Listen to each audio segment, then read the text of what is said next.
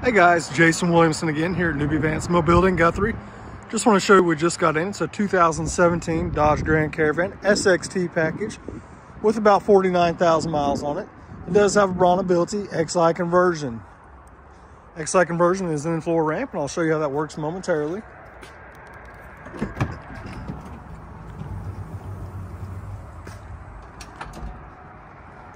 I said, with it being an XI, it's an in-floor ramp. Vehicle is currently located in Guthrie. And with a simple double click of your factory key fob, your door will open. The vehicle will begin to kneel and your ramp will be deployed. There's your nice wide in-floor ramp. Now another nice thing about this vehicle is it does have a transfer seat base on the passenger side, which just helps someone transfer from the wheelchair to this passenger seat. So by bringing that seat back and swiveling.